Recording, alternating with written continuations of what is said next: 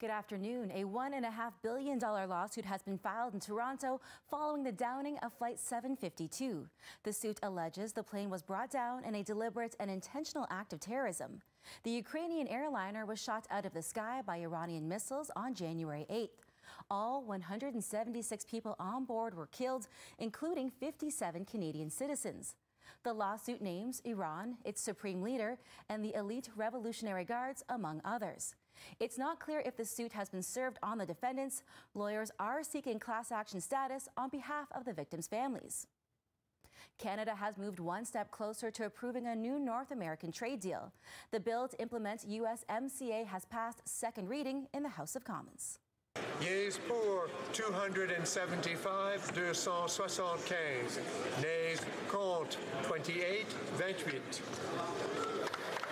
I declare the motion carried. Liberals, Conservatives, and the NDP voted in favor of the bill, while the Bloc Québécois led in the charge against it.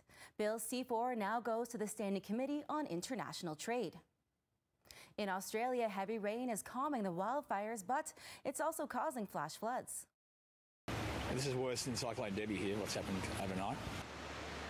Six people have been rescued from floodwaters. Meantime, this has been a huge relief for the ongoing wildfire fight.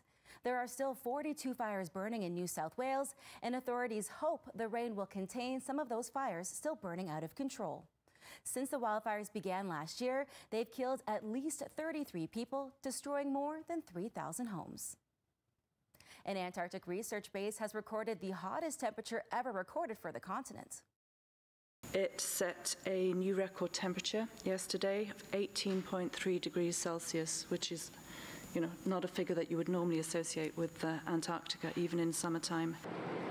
The record breaking temperature was recorded at an Argentinian base located on the northern tip of the Antarctic Peninsula. It comes amid rising concerns about global warming increasing the melting of ice sheets around the South Pole.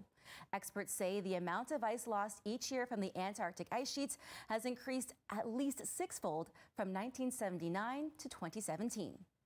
All right, this is exactly how you'd react if you met one of your heroes. This young Atlanta Hawks fan could barely contain his excitement as members of his favorite team gave him high fives on their way to the court earlier this week. And the last one that gave him a high five, the one and only Vince Carter.